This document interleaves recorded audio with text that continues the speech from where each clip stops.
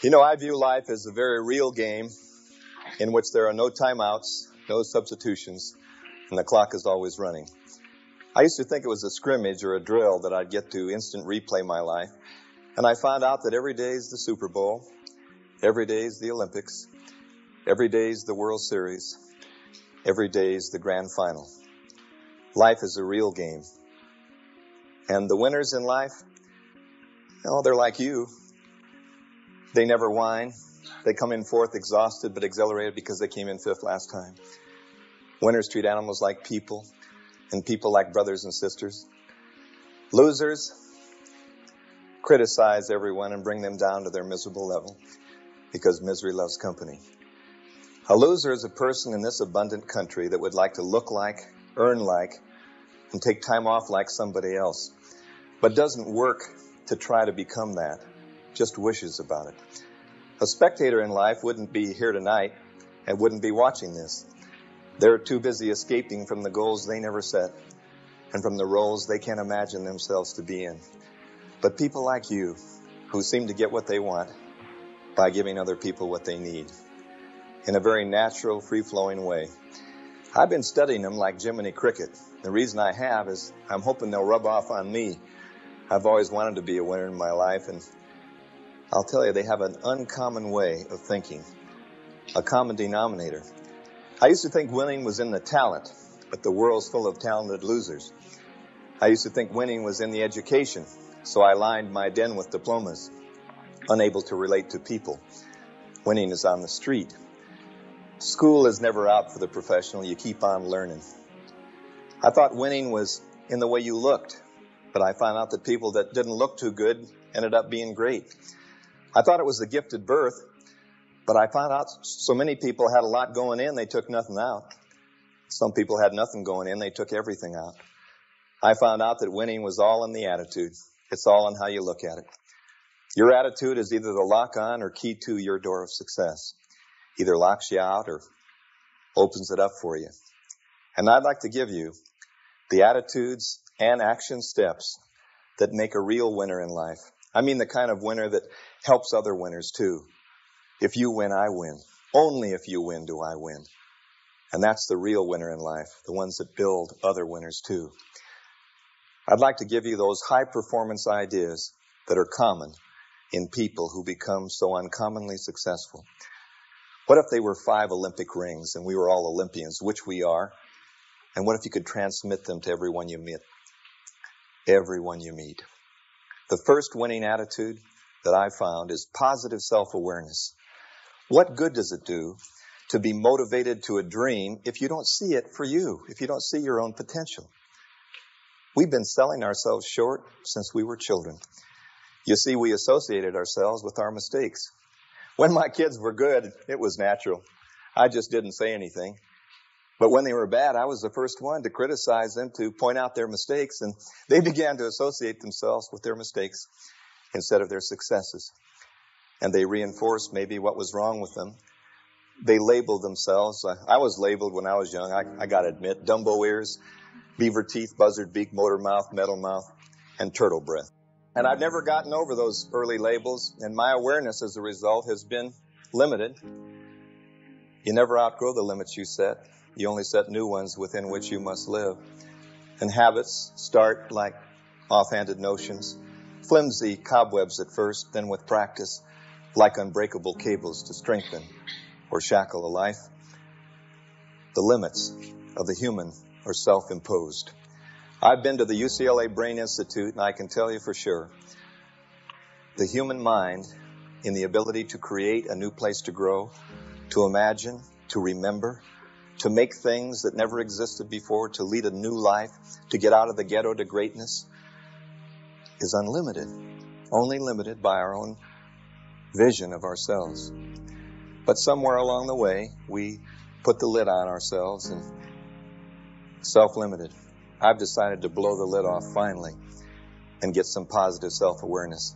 I ask myself the question, if it weren't for time and money and circumstance, what would I be? Are you kidding? I'd, I'd be terrific. But I don't have the time. I was a veteran and uh, served in the war, and I went to school a lot, and my dad was a warehouseman. If it weren't for the money, I oh, if I had the money. We were born poor like you were, and uh, first thing you know, uh, I never saw any money for us. I went into education to seal my fate, make sure I never earned any of that stuff, but I couldn't see it for me. If it weren't for my circumstance, are you kidding? I'm a Gemini. My dad was a warehouseman. I was the middle child, caught in the sandwich. I know a guy that didn't make it because he was the only child, no feedback. I know somebody that didn't make it because they were the youngest child, only got hand-me-downs second hand. I know somebody didn't make it because they were the oldest child, had to take care of all the little kids in the family. And we talked to each other and we found out there was time and money and circumstance. If I had the time, Ray Kroc, 54, selling paper cups, golden arches, McDonald's at age 54, the beginning. Grandma Moses, 75, painted her first painting at 75 years old. Went on to paint five to 700 masterpieces after age 75. I've always liked George Burns. I can't die, I'm booked. If it weren't, if I had the time, we've got the time. If it weren't for the money, if I had the money, Remember, remember old Walt? I'll tell you, what a loser he was. Walt Disney, are you kidding? He was bankrupt for the second time. Can you imagine going in? What guts it takes. Had a hand puppet named Steamboat Willie. He talked in a falsetto voice. He was the first voice of Mickey Mouse. Hey, I got a deal for you. I want to give you a cartoon during uh, silent movies. Get out of here, Walt. Another one of them crazy ideas. He believed in his dream when he only had a dream to hang on to. He was as successful when he was broke with a hand puppet as he was when Disneyland and Disney World opened. It's just that money flows to great ideas and to persistence.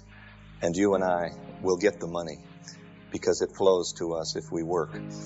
If it weren't for my circumstance, I think of a woman in history, middle aged, Midwest, garment district of the United States, went down with her husband to the kibbutz, and they had marital problems, and were divorced and bun on the back, roll down hose.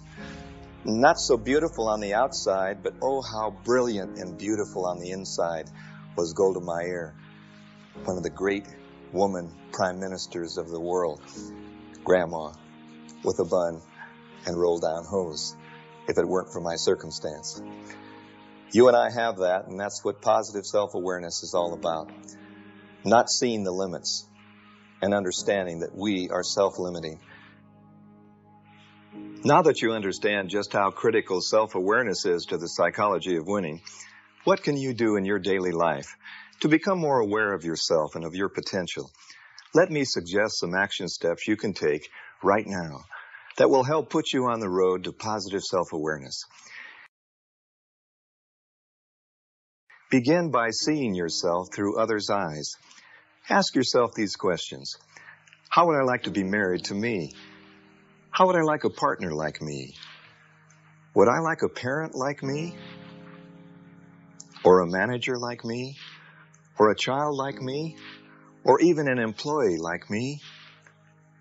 Secondly, evaluate important information. When you read or hear something that impresses you, check out the validity of the statements. Find out how accurate they really are and in doing so, get input from experts who really know the score. Next, break your daily routine. Try going to work another way. Cut down on television watching and increase your reading. Make new friends with different interests or start a new hobby or even a community service project. Finally, take a personal health inventory. At least once a year, have a comprehensive physical exam Review the lifestyles of your parents and grandparents and try to break any similar patterns in your life that could harm your health. Instead of buying junk food, try eating fruits and vegetables and begin a regular exercise program that you can enjoy and that you'll continue. What's holding us back in life? I'll tell you, for me, it's been my self-esteem. And that's the second winning attitude. If I could give the children of the world a box for Christmas for every day, I'd give them a giant box of self-esteem. And they'd open it up and see that it doesn't make any difference what you wear who you are, what you've done, what you own, what you drive. It's how you feel about what you're doing at any given moment in time. Self esteem is the deep down inside the skin feeling of your own worth. And that's why, as the second winning attitude, it is the single most important quality, in my opinion. It's the internalization of value. Doesn't make any difference what you're doing. Doesn't make any difference what you did last week. Doesn't make any difference what you're going to do tomorrow, but it, it makes a difference of how you feel about your potential. It's that feeling. You know, I give programs for young people in the summertime, and they come to youth camps, and I've been trying to help young people understand that it's not designer jeans for tots, and it's not uh, what you're driving or what you're wearing, it's how you're feeling. That's why peer pressure is so strong. You want to belong to a winning team. There'll never be a human being more important than another based upon what you got or how you look or what you do. It's how you feel about yourself. And that's the most important thing the internalization of value, internal standard. Not comparing yourself down or up with anyone, using competition to keep you honest, keep the quality in and the price right, and setting internal standards and giving your wins away. The three greatest fears that I've come in contact with in my life are the fear of rejection, which is the greatest fear that anyone ever has. It's greater than the fear of anything. The fear of being made a fool of in front of your peer group. Why do you suppose the pressure is on young people to dress, act, and look a certain way? It goes right up into adulthood. We're all the same. We're afraid to have people laugh at us. That's why in kindergarten, they raise their hands. They don't care if they're wrong or right. They just want to answer anything. By the time you get to the fourth grade, you begin to worry about people snickering at you and being wrong. By the time you're in high school, you say, I ain't answering. And when you're a grown up, you always play it safe with the same kind of friends who have the same beliefs. And that's the way it is. The fear of rejection becomes the fear of change. I don't want to change and set an example. I might get criticized. I might get ridiculed. And it becomes the fear of success. And through all of my life, the one thing I've been afraid of most is making it, of winning. You know why? Because where we grew up and how we were and how it was, it didn't seem right for us. And so I had permanent potential. I just kind of majored in minors and did things that were tension relieving instead of goal achieving. And I made a lot of excuses. Uh, fear of rejection, uh, there was always a reason. And success always stood in my way. They asked me to publish a book, so I procrastinated. See, procrastination is caused by the fear of success. You know if you did it, you'd win and you'd be better. So I didn't do it so I could be my comfortable self. And it worked out right. I painted the fence and walked the dog. Next thing I knew, the opportunity passed. It felt so good. Just to be me again. You and I aren't afraid to be rejected because we've learned one thing about self-esteem. Since self-esteem has nothing to do with performance, it has to do with potential. You and I can separate who we are from what we do. And the one thing you learn with high self-esteem in life is you never carry failure forward. Failure is always left where it belongs as a learning experience, a stepping stone instead of a stumbling block, a temporary inconvenience. I've decided the one way you can spot a winner or loser in the making is the way you project yourself, your value. You always project on the outside how you feel on the inside. I know I do. I, I can't hide it. I'm not the best looking in the group, but I'm always looking my best in the group. I can't always wear the finest clothes, but they're clean and pressed usually. And you always project on the outside how you feel on the inside. You can't deny it or can't get away from it. And so that's, that's kind of the way it is. I can spot in me other people the ability to accept a compliment and the way you forecast your value to others. When people used to say nice things to me, I threw back all the value they gave me. It's an easy tip off. Rejection of value or acceptance of value. Pretty nice looking suit, Denis. And I'd say, yeah, yeah I was going to give it to the Goodwill. You're right. He said, uh, pretty nice tie. And I said, yeah, I got some mustard on it this afternoon. And I, he said, yeah, kind of sloppy eater. You're right. Uh, we brought you a present for your birthday. I said, you shouldn't have. You spent too much. They said, we know, just checking your value. They said, Thank you very much for what you did for our son. And I said, It was nothing. They said, Hmm, we'll tell him that for you. We sure appreciate what you did the other day. And I said, Don't mention it. And they didn't next time. They knew. Why would anyone, when you're paid a compliment, not accept it? Gee, your hair looks beautiful, I said to her, and she said, have split ends, need to go to the beauty parlor. I says, because you got dark roots. She said, you got a big nose. I said, I knew that. I wore this really neat sweater one winter, and they said, oh, look at that.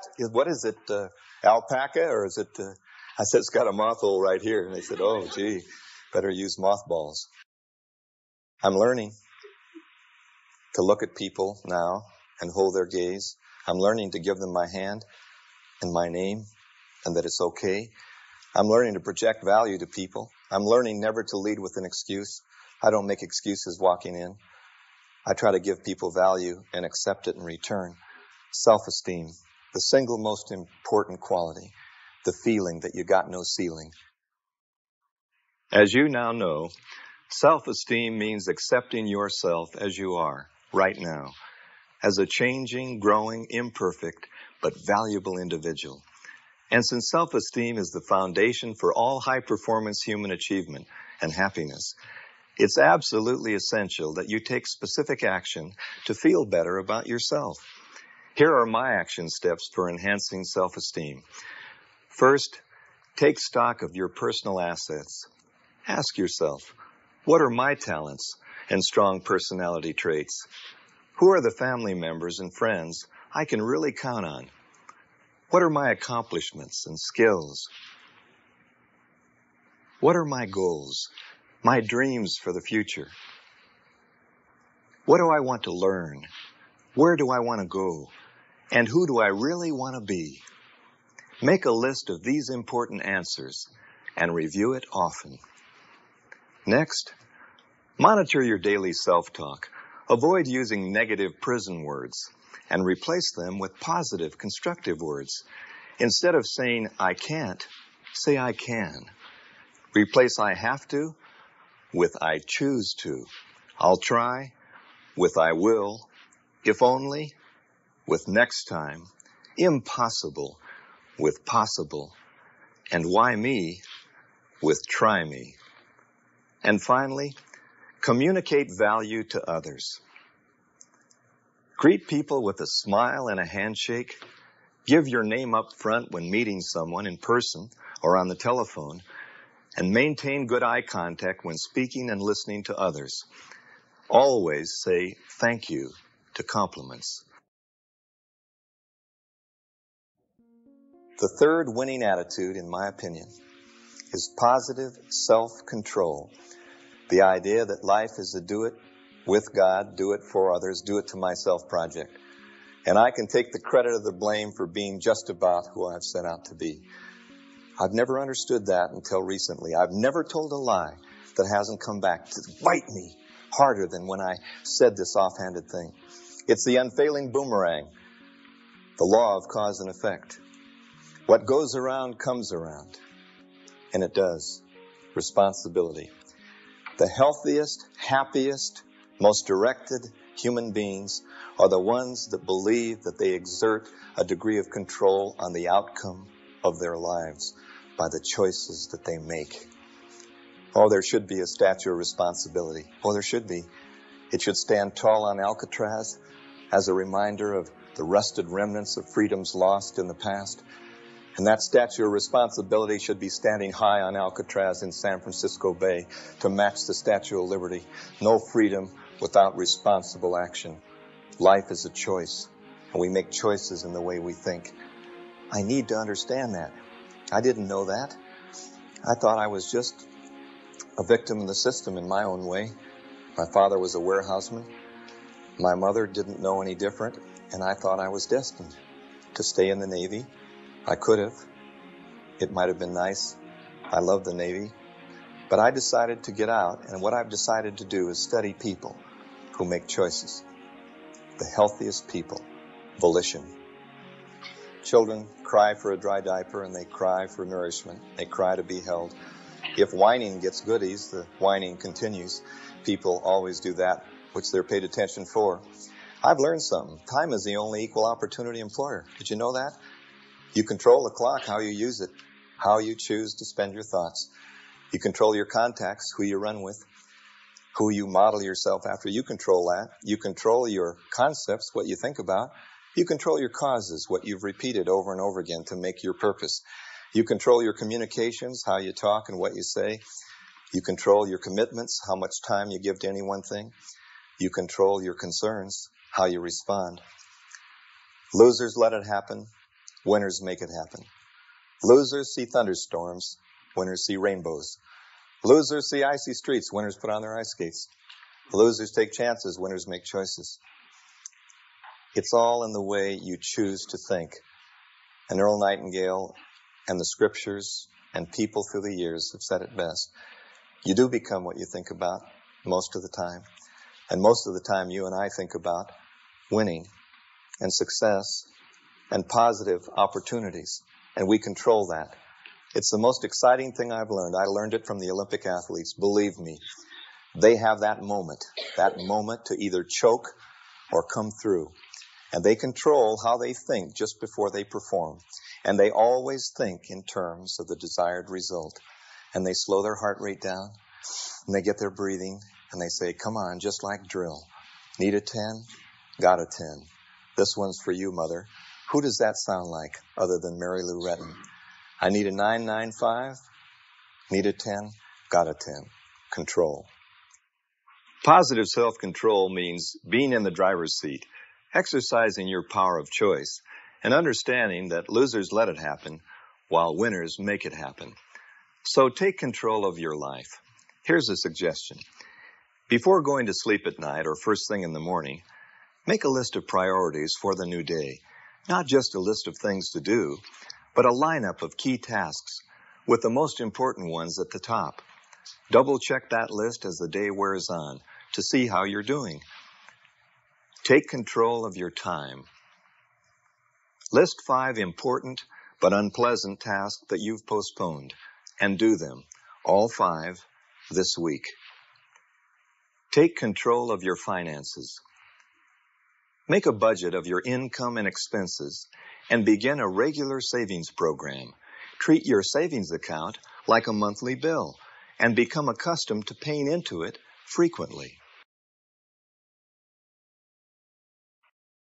The next winning attitude is if you've got the control of the thought, where would you lead it? You lead it in terms of the imagined self.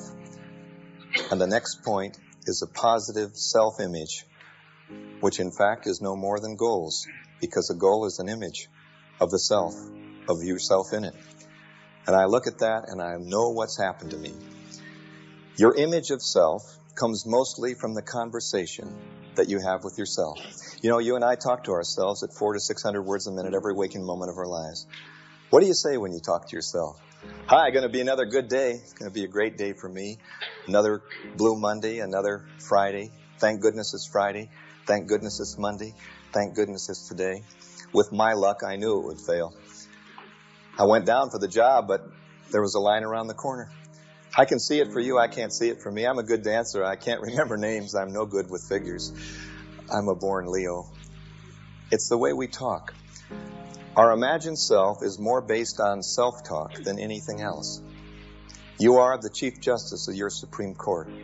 The most important conversation you'll ever have is the one you have of yourself with yourself, and it leads to images and pictures and feelings and concepts which become goals when they're planted. Habits start like flimsy cobwebs, then with practice, like cables, we said. I have this little inner voice that goes around with me. I tell it what I'm thinking. I tell it what I see. I tell my little inner voice all my hopes and fears. It listens and remembers everything it hears. At first, my little inner voice followed my command, but after years of training, mine's gotten out of hand. It doesn't care what's right or wrong or what is false or true. No matter what I try now, it tells me what to do. You are me too. R2D2. Are you me too? Continuous loop video cassette. in my head of the kind of person I think I am, I say I am, I know I am. And you and I have one, like a tape recorder there, recording everything we've been afraid of, everything we've thought of, everything we've done, and a lot of things that other people have told us that just aren't true, only their opinion. Fortunately for me, however, working with Olympic athletes and Super Bowl champions and winners, I got mine under control. And I know how to give my inner voice positive reinforcement. And when I talk to myself, I always talk with all due respect. Do you know that people make their mind up about you and I based upon our opinion of ourselves? They have no time to check us out. They just listen to what we say. And of all the things we say, you and I need to say things in the direction of a very specific target. Of all the things I know, if you don't stand for something, you'll fall for anything. If you don't know where you're going, you'll end up someplace else. And you won't recognize it when you get there because you really didn't plan to be there in the first place. The people who are the most specific in life seem to get a goal because the mind is the most marvelous biocomputer ever created. I had the good fortune to have as a professor Dr. Viktor Frankl, who led the resistance movement at Auschwitz and Dachau during the years of World War II. And Dr. Frankl realized that the people who lived the longest, who made it through those horrible years, were the ones who had magnificent obsessions, who were stuck on a marvelous target. I studied the Korean War. It was the only war in which no American prisoner ever escaped from a minimum security camp. You see, they have a way of checking you out by asking you questions about your life. Hi, soldier, where are you from? Who's your favorite ball team? What are you going to do when you get back? How much money do you need? If you said enough money, someday I'll, uh, I don't really know. I don't have a ball team. Uh, I just want to be happy. I just want peace. The mind says piece of pie, piece of bread, piece of what? What will make you happy? What will make you successful? How much is enough? You need to take the generalities and give them specificity. They took the people with no goals and called them purposeless. They put them in minimum security cub, minimum security camp country clubs, and they tried to reorient them in the library. The death rate went up, the disease rate was up in the minimum security camp with more food and comfort. In the maximum security camp, they put people like you and I, people who had deep beliefs, people who wanted to get home, people who were going for freedom, who knew how much money we need, what kind of goals we believe in. And they classified them as dangerous because they were leaders. People always follow someone who knows where they're going.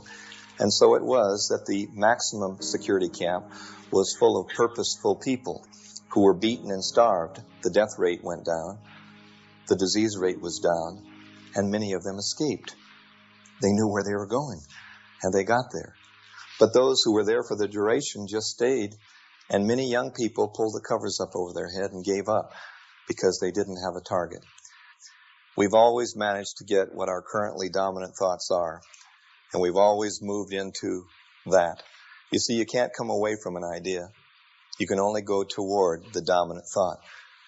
Through the years, I've learned how to set goals that are just out of reach, but not out of sight. I've learned how to stair step them like the Olympic athletes. You see, they never try to win the gold. They only try to do a better split. A little faster this, a little more of this. They try just to be out of reach, but not out of sight. And they even take pocket computers and figure out what they need to do the next split in to get it. And when they get a goal, because it's close in, they get positive reinforcement for having hit it. When they miss a goal that's close in, they can get easy correction to the target. I used to set my goals. I want to be president of the world. I want to be like any actor or somebody. Just today, you can't do that. You take it a little bit at a time, just out of reach. And of all things to tell yourself, never tell yourself what you don't want to happen, what you don't want to be, what you don't want to recur again. Never tell yourself how much weight you don't want to be. Never tell your children, clean up your room, you pigs. I used to. Clean up your room, you pig. And they cleaned it up and got it messy the next day. They know who they were. Oh, you can't come away from a condition. It's like saying don't giggle in church. Why would you ever tell somebody not to giggle in church? Just because an apple fell off somebody's hat and rolled down the aisle, that's no reason to do that. Many of you who know about the World Series and sports know that sports is a microcosm of the world. And in sports, you see it all the time. A coach unwittingly telling a team what not to do in the second half. Why would anyone motivate anyone on the reverse of an idea? Why would you ever tell yourself anything except where you wanted to go and be? I weigh this much. I'm fit and trim. I can feel my body grow stronger now. I'm achieving my financial goals. Not what I don't want to be, but what I want to be. The dominant thought of the winner. You know, sometimes that inner voice just isn't very cooperative. So you need to work hard every day to fine tune it, to feed it fresh information for building a new and better self-image. To be a winner in life, you must have a well-developed game plan. Your objectives can range from lifetime goals to daily priorities. Review what you want to accomplish in the next 12 months for your career, your family, finances, your education, public service, and mental and physical health. Set one major goal for each of these areas and review them often. And when you're not actively pursuing your goals, visualize your achievement. For 10 minutes every day, picture yourself already enjoying one of your goals. Imagine how it looks and feels and savor those good feelings. Next, learn new skills. Find a coach or mentor who can teach you the skills you need to reach your objectives. And finally, get constructive feedback. Share your goals with others and monitor your progress with feedback from a positive support group, not necessarily from family or friends, but from those genuinely interested in your success.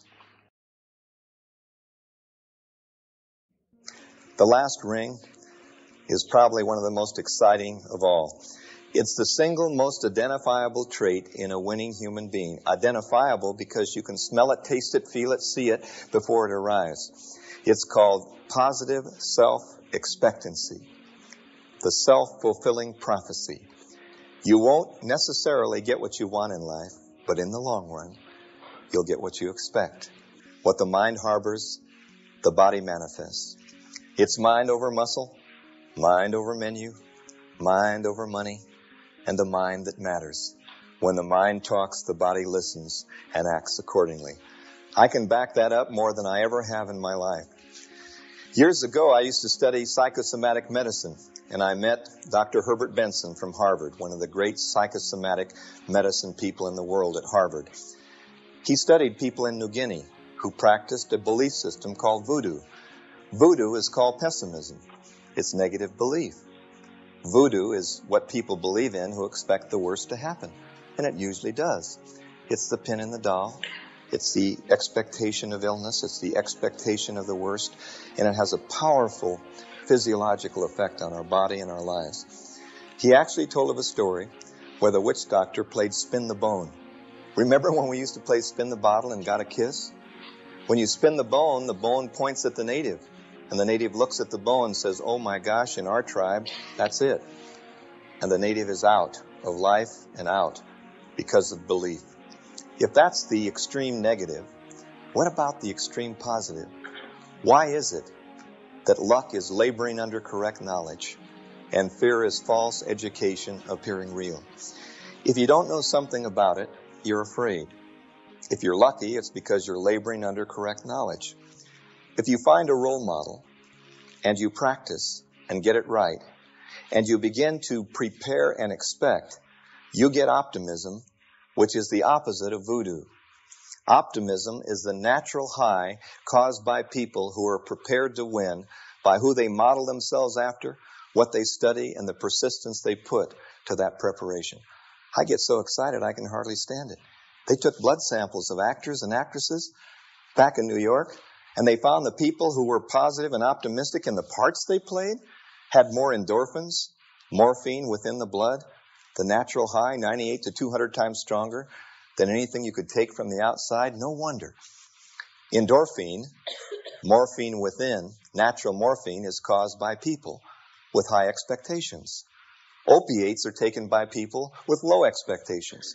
And because they're not optimistic about their future, because they don't have high self-esteem, because they feel out of control, their awareness tells them they need to be like everybody else.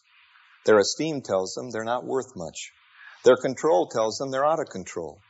Their image tells them that they have no goals. And their expectancy tells them that the only way to get happy is to get a dose, a fix. The people with low self-esteem and low expectancy take opiates from the outside. The only side effects are devastating. Winners in life with high expectations expect to win and do what's necessary. And they get endorphin. Women get it during labor to help along a blessed event. Athletes get it wearing their Sony Walkman listening to Chariots of Fire. I thought it was my Walkman that did it. It isn't. It's high expectation. It gives you the natural high. You know, that's exciting. You sing because you're happy, and you're happy because you sing. They both provoke the same idea of optimism. I'm optimistic about the future. I believe in the Chinese definition of crisis. In China, 5,000 years ago, they took the word crisis and made it into three symbols. Opportunity, riding the dangerous wind. Crisis has two edges, two sides, two faces. It's opportunity riding the dangerous wind. Alexander Graham Bell had a family member who was hard of hearing, so he invented the telephone as a hearing aid, not knowing he was going to solve a communication crisis for the rest of the world. He was trying to help out his own family member as a hearing aid and invented the telephone. I thought inventions were invented by people who wanted to make money. They're not. They're invented by people like you and I who want to solve problems and who convert them into opportunities. I'm so excited about positive self expectancy because it leads and follows all the others. Because you usually get from life what you expect, it's critically important to expect the best for yourself. Let me suggest these action steps for positive self-expectancy. First, view problems as opportunities. Make a list of your most pressing problems, the ones that block your professional and personal fulfillment. Write a one sentence description of each problem and then rewrite the description, only this time Challenge your ingenuity by describing the problem as an opportunity. Next, maintain an upbeat outlook. Wake up each day to beautiful music instead of to a jarring alarm clock. Before doing anything else, take a brisk walk around the block to clear your mind for the day ahead, and then go eat a nutritionally balanced breakfast to fuel your energy. While showering or dressing, use positive self-talk. Tell yourself, it's another good day for me, or that sales meeting will work out just fine. Associate with winners. Avoid the naysayers. Remember, misery may love company, but so does success. And finally, expect the best from others. Praise and encouragement are powerful motivators. So offer praise and encouragement freely and generously to the others in your life so that they can rise to your expectations as well as to their own. If you're aware of the abundance that you've got, you get positive awareness. You open up to the potential. You start looking for opportunities. If you have good self-esteem, problems become a temporary inconvenience and a stepping stone comes out of a stumbling block. If you have a feeling of control, you believe that you control the way you respond to things and you and I respond to things effectively rather than reacting irrationally. If you have a good self-image, it's like a thermostat. You start controlling the way you talk and the way you think and the way you act. And you and I visualize. We visualize within while we're doing without. And if you've got positive self-expectancy, then you're a natural born optimist, but it's just the way you are. And you see opportunities out of crises. You can be a total winner even if you're a beginner. If you think you can, you can. If you think you can, you can. Raise that C up to an A. Make the big play if you think you can. You can ride your own black stallion. You can wear the gold medallion if you think you can. It doesn't matter if you won before. It makes no difference what the halftime score. It's never over till the final gun. Is there one? So keep on trying and you'll find you've won. You can make your presence greater than the Bears refrigerator. If you think you can, you can. If you think you can, you can. You can profit through inflation and redirect this nation. If you think you can. You grab a dream and then believe it. Go out and work. You'll achieve it. If you think you can, you can. If you think you can, you can. And we thought we could. And we knew we could. And we knew there was no time to lose. But we knew there was plenty of time to win.